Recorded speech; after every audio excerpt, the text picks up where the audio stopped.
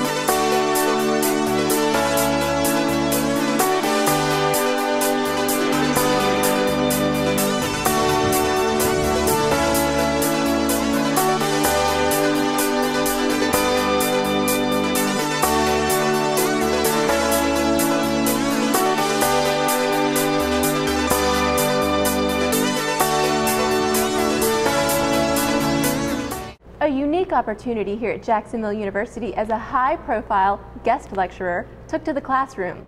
JU's Davis College of Business finds itself in the national spotlight today as campus is crawling with anticipation for a very special visit. Chairman of the United States Federal Reserve Ben Bernanke came to Jacksonville University to speak to students from area colleges. The purpose of the chairman's visit?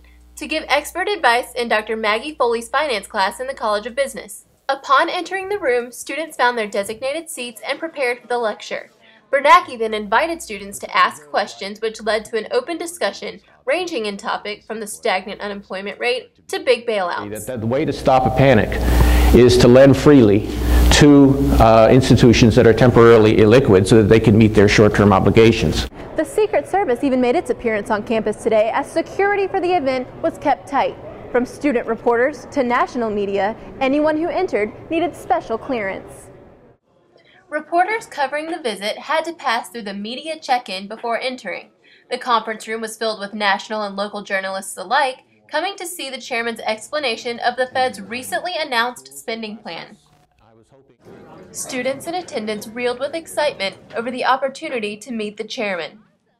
I was uh, really excited to get this opportunity. You know, it's uh, not every day you get to talk to the uh, the most powerful economist in the world. Uh, it was fascinating to me. I thought it was uh, very interesting how it, he was able to simplify stuff that I've found really complicated since I've been studying economics. I had no clue I would get to meet the chairman, and then especially introduced to school. I was definitely definitely excited and I was honored. To read more about the lecture, visit navigator.ju.edu. The event was carried live on C-SPAN and Bloomberg Television. Class gifts are a tradition here at Jacksonville University, but recently one of the university's green dolphins turned up missing, leaving everyone searching. Less than one month ago, this glass dolphin was discovered missing. JU's class of 2009 left their mark on the university's campus with a glass sculpture garden known as the River of Dolphins. The artwork was crafted here on campus by JU's own glass blowing department. A few weeks ago, one of the dolphins disappeared, leaving behind only the base of the sculpture. Only after the university and the Office of Student Life offered amnesty for the return of the dolphin was the dolphin located. For Dina students Dr. Brian Coker, the recovery was a great relief. Was recovered. We're very thankful to the softball coaches who found it and allowed us to investigate things, and we're thankful to all the students and staff who concern. Uh, really says something good about JU, I believe. Thanks, Ashley. The missing green dolphin will soon be returned, joining the other glass sculptures in the River of Dolphins. The cost of attending college continues to steadily rise faster than the rate of inflation. Reporter Alyssa Fernald calculates the details. Recent studies have shown that nearly 50% of all college graduates have student debt, accumulating an average of $24,000. Breanne Simpkin, Director of Financial Aid, offers some advice. There becomes a point where you have to do kind of risk evaluation. You know, is going to pay off, quote unquote, for me to invest in my education? And the answer to that is usually a yes. Um, in this market, you need a degree to really be able to secure a job and a well paying job. The ideal, though, is to borrow only what you need. Uh, the trend right now, why you're seeing student loan debt climb, is because students are borrowing more than what they really need to get their, their education. So, as long as you're wise, it's always worth investing and borrowing to get your college education. Financial aid comes in several different forms, including Stafford loans, Pell Grants, Parent Plus loans, and private loans. You know, thinking about it, it's a hard decision to make, but in the long run, as long as I'm getting the degree that I want to ensure that I can pay off those loans. And for the most part, I'm doing pretty well right now, so. While loans may provide easier access to higher education, the loans may also make life post-college more difficult. But the research is clear. Individuals with a college degree earn nearly 90% more in their lifetime than those with a high school diploma. Reporting for the Dolphin Channel News, I'm Alyssa Fernald. Students looking for ways to reduce or manage their debt can visit the Financial Aid Office in the Howard Administration Building.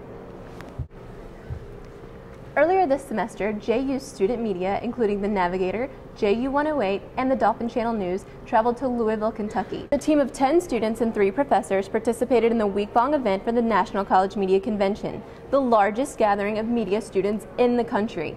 With more than 2,000 college students attending the conference, the Galt House Hotel on the Ohio River was buzzing with Cub reporters. While in Louisville, Jacksonville University's student-run newspaper, The Navigator, received national recognition. This is the first time The Navigator has won the Best in Show award at this particular conference. For senior hey Rika. and Navigator business manager Victoria Smart, the win is the result of a semester-long collaborative effort from everyone on the newspaper's staff. I'm just so proud of everybody pulling together crunch time. It was only our third issue that we won in. The staff stayed late when necessary to meet crucial deadlines and felt the reward of all their hard work in the excitement of the final ceremony. Sitting there and they're calling names and they're calling names, and then all of a sudden we hear the navigator at Jacksonville University, and I think I jumped out of my seat. I think I actually did. And Rika went up, and we were just so ecstatic and honored to represent JU and to have that award be placed on our wall was just, it was just such a great feeling. The Navigator releases a new issue every two weeks and can be found in Einstein's, Nellie's, and designated newsstands around campus. The Louisville Slugger Museum, located just off Main Street, broke a record this October with nearly 50,000 visitors in a single month. In 1884, Bud Hillerich created the first of the famous wooden bats for Pete Louisville Slugger Browning of the city's All-American team, the Eclipse. Browning, bearing the brand's namesake, made three hits the next day, and since then, over 100 million bats have been sold to both professional and amateur players. The museum offers tours to the public featuring the legendary bat's history and manufacturing. The infamous Louisville Slugger, made from fresh timber, primarily from northern white ash grown in New England forests, yields over 1,500 baseball bats each day in the factory. The world's biggest bat, an exact replica of Babe Ruth's, stands over 120 feet tall at the doors of the museum. Inside the museum is an oversized glove created from 450 million year old Kentucky limestone, hand carved by Kentucky natives. Visitors can purchase their very own engraved bats in the gift shop. A visit to Kentucky wouldn't be complete without a stop at what some consider the world's most famous racetrack, Churchill Downs. Horse racing and Kentucky go hand in hand, with thoroughbred horses taking center stage. The 200-year-old tradition made Churchill Downs and the Twin Spires home to the Kentucky Derby in 1875. For senior Victoria Evans, visiting the track provided a chance to experience an American tradition.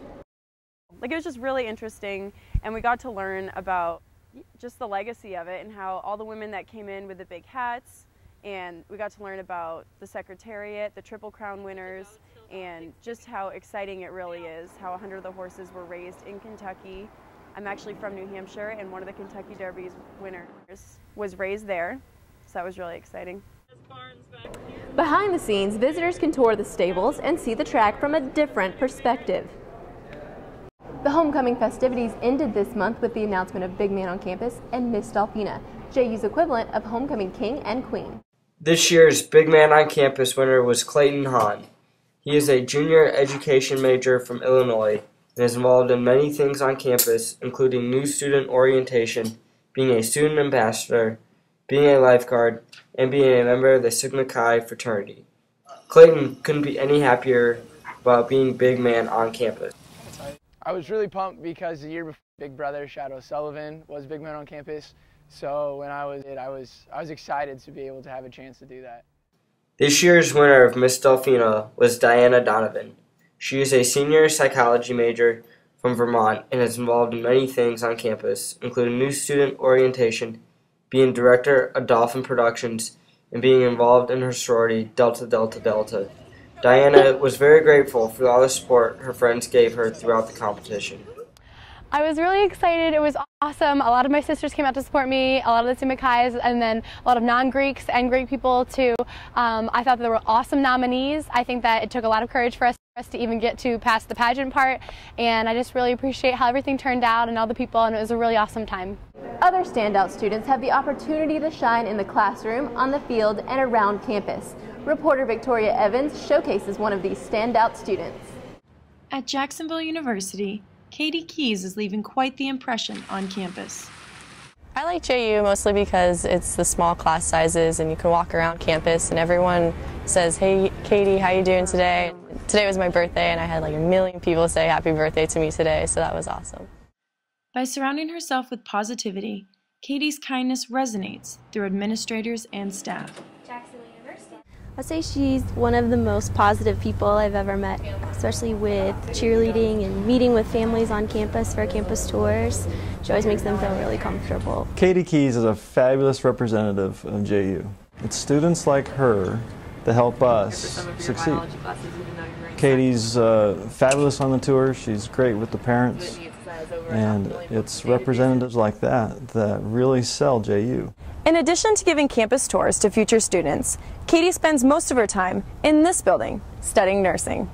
The nursing program at JU has changed me completely as a person. My grades and my schooling is the most important thing, and basically setting priorities is what the nursing program has taught me. Keys embraces her position as a leader and envisions her legacy to be positive.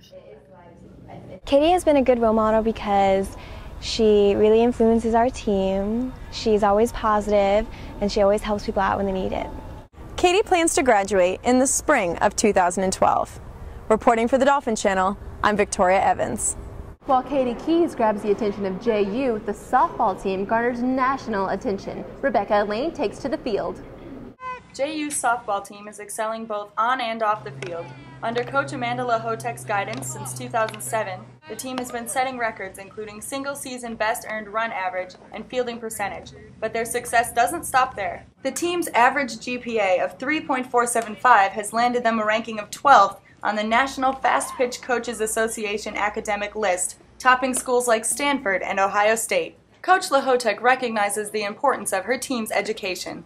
They are here to play sports, but more importantly, they're here to get their jobs. So if they don't go to the classroom, um, they're not allowed to participate in practice. They're not allowed to participate on the field because you are a student athlete. You're not an athlete who's a student. It is a uh, privilege, not a right, to be part of the team. The sport is motivation for these players to make the cut and to exceed minimum academic standards. Grades are important to us because if we're not eligible, we can't play. The Swisher Library here on campus is a great place for student athletes to come and focus on their studies. Because they have to do study hours on top of practice, on top of classes. Despite that challenge, the team finished last year with more than 30 wins, a first since 2005, while making time to study even without mandatory study hours. As a matter of fact, tonight we have a study group for humanities and it helps us, you know, get our grades up as a group. Not only does the JU softball team hit the books hard, but they also hit it out of the park. Reporting for the Dolphin Channel, I'm Rebecca Lane. The Lady Dolphins welcome four new players to the team this year. The Jacksonville India Fest, hosted in Metropolitan Park, gave local residents a better perspective on Indian culture. This year, booths featured Indian cuisine, clothing, jewelry, and art. We love Indian food. Both of us are, uh, my, my, wife and I are chefs, and we're vegetarians. So we come here for the food and just the atmosphere to bring him and let him, you know, get some more culture. Growing up, it's always nice. A variety of dances were performed on stage, representing different regions of India. The event concluded with a Garba dance, which is tradition in Navratri celebration. The Indian uh, dresses, Indian food.